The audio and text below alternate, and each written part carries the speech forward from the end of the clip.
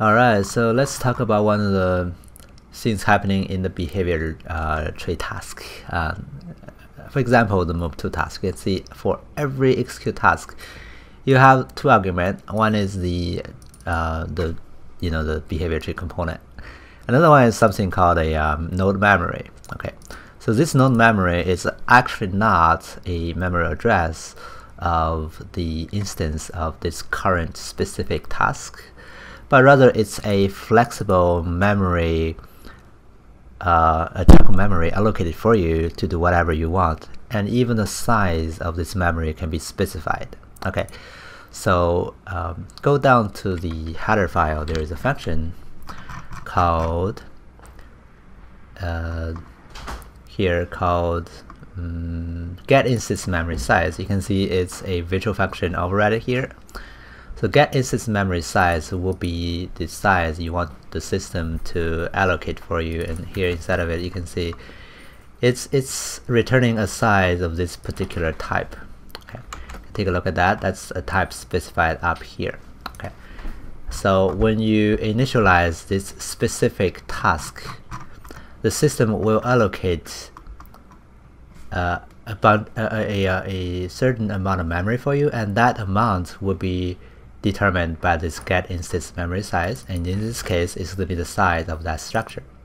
And that's why up here when you do that um, do that uh, let's go all the way up. When you do that execute task this particular memory address will have a allocated memory of its type size and that's why you can reinterpret casting it right? It's a dangerous casting. You have to be sure that the size is exactly like that so you can do that right? And then you can see it's using that right away right? That, that memory here is going to be used right away to define different stuff already. So the reason it is guaranteed to be successful here instead of just a type trick is that when the system is allocate that part of memory here, it's using uh, oops, if I go back to the header file, it's using that get instance memory to define to determine how much memory it's going to allocate. Again, it's going to be the type size, the size of this type. Okay, and deeper here, um, if you look for the get instance memory, you can see this get instance memory will be called by the uh, behavior tree manager here and inside of this uh, initialization list okay here this one. Right. And this one is trying to create uh, initialize uh, help to initialize a list of nodes that belongs to a particular behavior tree instance. Uh, because you may have multiple AIs, every AI will have a behavior tree instance, that behavior tree you create in the editor. And every behavior tree instance will have an array of different nodes, like decorator, like services, like tasks, whatever, they're nodes, right? So for every node, it needs initiali initialization, and this is where they're getting initialized. And when they're getting initialized, um, their memory they they have a they have an attribute called they have a memory variable called uh, um, memory offset and it's determined by the size the memory size okay? And when they're getting executed in the behavior tree components they're gonna get that node memory with something here called get node memory. And then the node memory size is determined by this memory offset. Because this memory offset is determined back here earlier by this get instance memory size. And it's actually stack on top okay?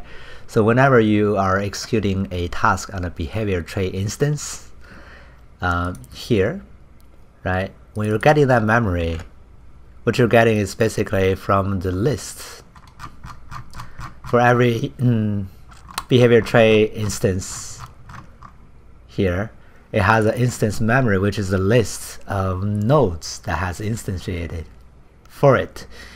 The get data, get data, uh, this is an T array, right? Excuse me. This is a, this is an T array, and that a T array, a T array has a a list of the um, uh, the memory here, uh, the memory of the instances.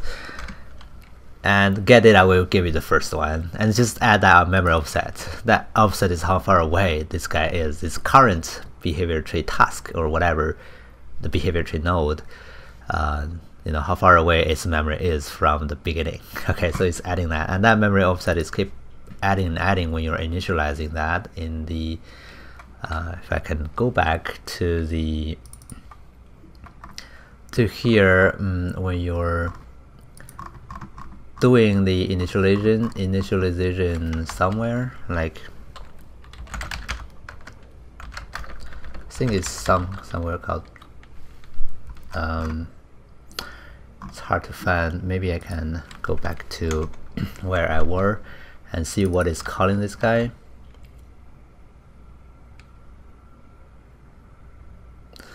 and you will see that the behavior manager, behavior tree manager will be calling it in the load tray.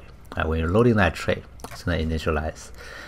And you can see it's initializing here and under here underneath here you have this for loop. You can see the memory offset is zero and it's gonna keep adding the data size. The data size again is gonna be here, the data size somewhere here, right? Uh, so it, it, I just have to know that that type, uh, the get instance memory size, uh, here, get instance memory size, it's going to be something customized and you ask the system to allocate that memory for you and you can use it across the behavior tree task. Okay so that's all that is and it's all across the behavior tree system. You can have that on the decorator in the service.